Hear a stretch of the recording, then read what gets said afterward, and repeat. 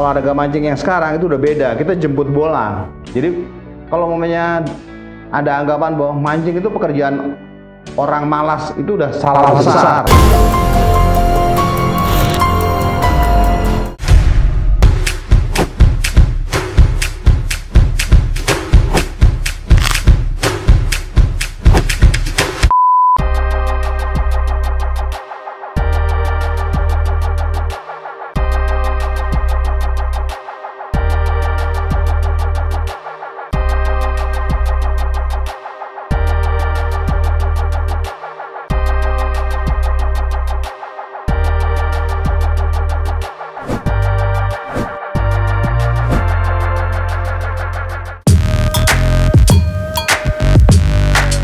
Jadi memang dari kecil ya, awalnya memang saya suka mancing. Di sekitar saya itu ada kali, ada lapangan, ada apa genangan-genangan air. Jadi dari kecil memang saya suka mancing-mancing, nyari-nyari ikan, nguras.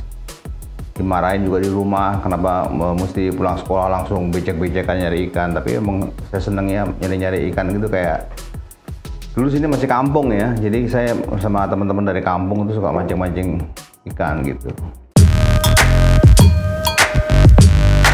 Kenapa orang-orang semua jadi ketagihan itu? Itu karena waktu pertama kali semuanya kita persiapkan, terus dimakan sama ikan. Jadi kita apa namanya begitu-betul betul-betul waktu kita tunggu dimakan di situ eh, strike itu yang hook up ikan fish on umpan kita dimakan di situ tuh orang bener-bener eh, pertama kali itu yang membuat orang jadi ketagihan dia akan mengulang lagi mengulang lagi karena ada eh, yang bilang strike ini mau dibayarin mau dibayarin berapapun nggak saya kasih karena waktu pertama kali dapat itu yang nikmatnya. Mancing tuh di situ sebenarnya.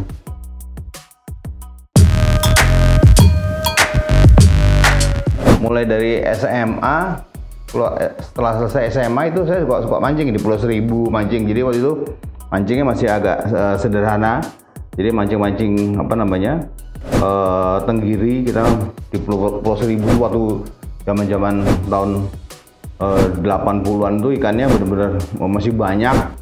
Dan itu kita saya sudah sering mancing meskipun masih secara tradisional setelah apa namanya eh, mampu beli alat itu kira-kira mulai kuliah tuh baru kita pakai alat. Jadi pakai ada reel spinning nah kita baru mancing-mancing tenggiri pakai spinning mungkin saya juga beli bukan bukan barang baru waktu itu. Mungkin juga saya beli second. Mungkin ya kira-kira waktu itu nilainya mungkin ya sekitar 50 50 ribuan lah. 50 ribu 100 itu juga saya juga udah senang sekali punya alat eh, alat pancing. Bisa punya alat pancing sendiri gitu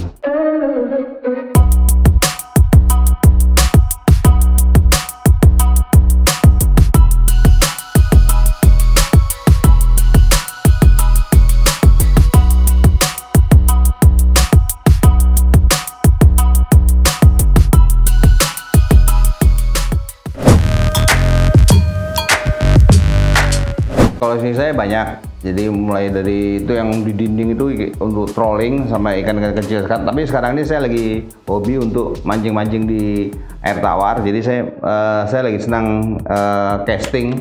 Jadi casting tuh eh, bisa di air tawar, bisa di air laut.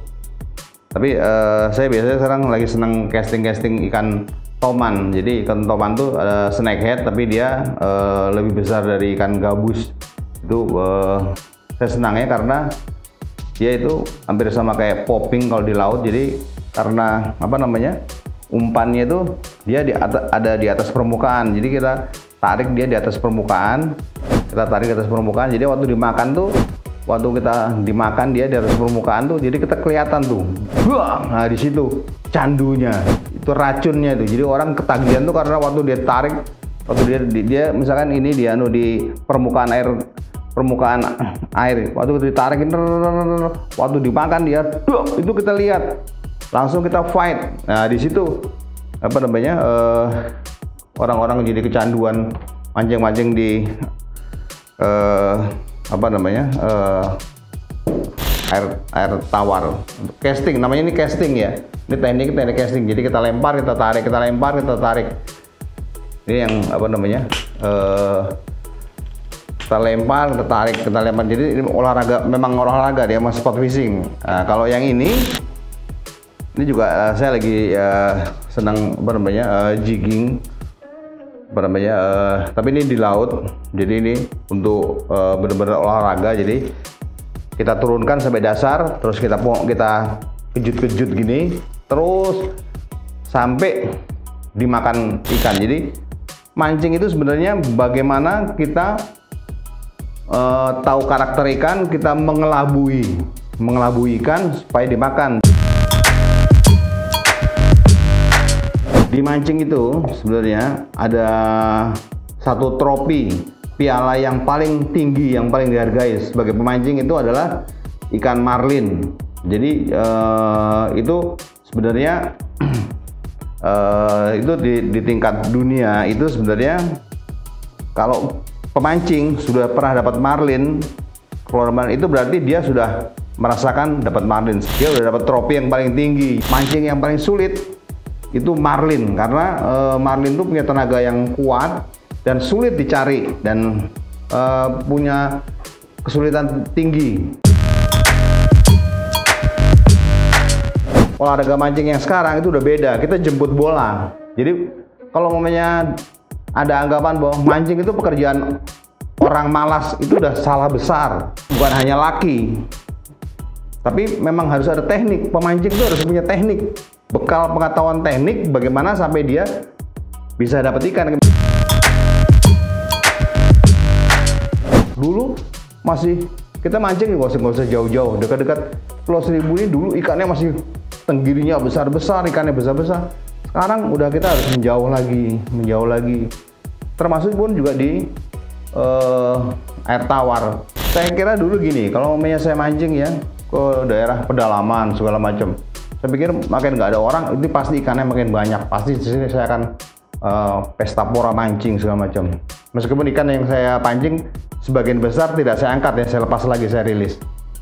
Uh, tapi saya pedalaman nggak ada orang begitu sampai sana saya ketemu ada kapal persiapan mau ngebom. Jadi begitu di daerah pedalaman yang nggak ada orang karena di sana tidak ada aparat jadi perusahaan lingkungan di daerah tuh yang nggak ada aparatnya banyak.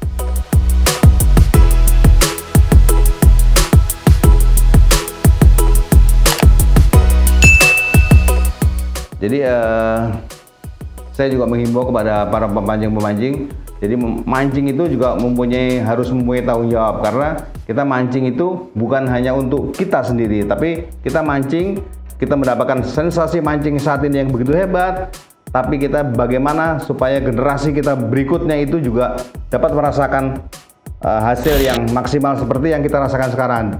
Caranya adalah kita menjaga ekosistem dan catch and release.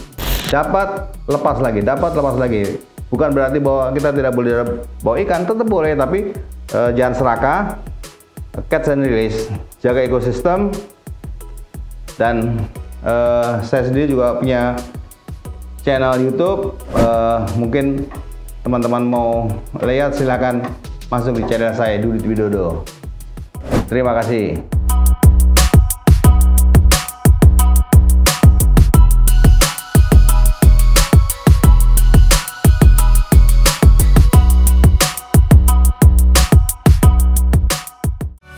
Jangan lupa subscribe. Jika Trubus Mania suka dengan video ini, share video ini ke sosial media kalian.